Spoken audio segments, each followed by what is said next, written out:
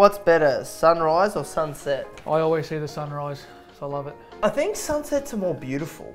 They are, but you can't take that like nice portrait shot. No, but I mean from a feel. Let's not. Let's get off Instagram for a Oh, second. sorry, I thought we were talking about social media. let's get let's get off Instagram for a second.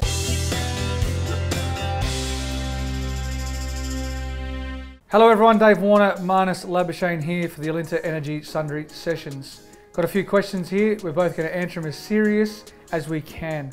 Marnus, my first question is to you, mate, because you're the only one here. How do you prepare differently for day-night test matches? Yeah, uh, the only thing I do differently is I try and go to bed really late in the lead up, and I go to the extreme because I struggle to sleep when there's light come into my room. So I'll tape the room up. The fortunate thing for us as batsmen, hopefully it doesn't happen too often, but if we get out, I can sleep, so um, it's okay. Favorite match you've ever played in at the Adelaide Oval? Well, that's easy. That is Well- just like you've just you've just thrown him in the wheelhouse. Well, look, we can talk about myself. Um, is I've scored a few hundreds and maybe a triple century. We batted nicely together that day. We, we did, we did. We- Um, that was fun. A great series there was when we played um, the Ashes.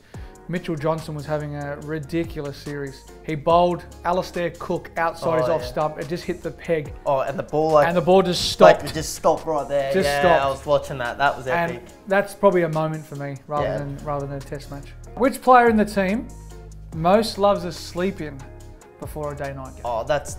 I reckon there's two candidates, and I think you'd agree. Green Khawaja. Uzi is not a morning person. Things But Uzi changed. before he had kids was genuine. Like you wouldn't see him before mid. Like if you're playing a day nighter, no. you wouldn't see him before midday. What is the best tip you you have for batting with a pink ball under lights? Watch the ball.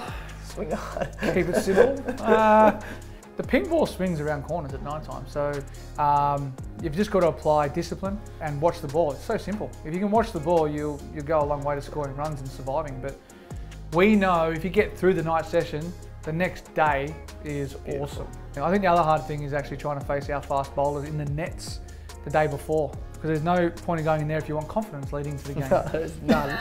None. The amount of inner remember thighs that, get remember peppered. that net session we had at Adelaide Oval before the India series on that weekend, and we couldn't like, we literally the ball was nipping like It was dumb. miles. What's your favourite South Australian in the Australian cricket? In Australian cricket? Who plays for South Australia? Yeah, he doesn't know. Yeah, no idea. Uh, well. Well, they don't even turn up in Yeah, Shield yeah, cricket. They yeah. went a whole season without even winning a game. no, they, they, went- they went two. Oh, two seasons. Sorry, sorry. Greg Blewett. He Bluey. was stylish. He was a that's good. stylish player. Oh, And my favourite memory is when he got bowled. It bounced around that eye. and he, he hates it. He Uh, I love it. this. That's funny. What's better, fine leg or short square?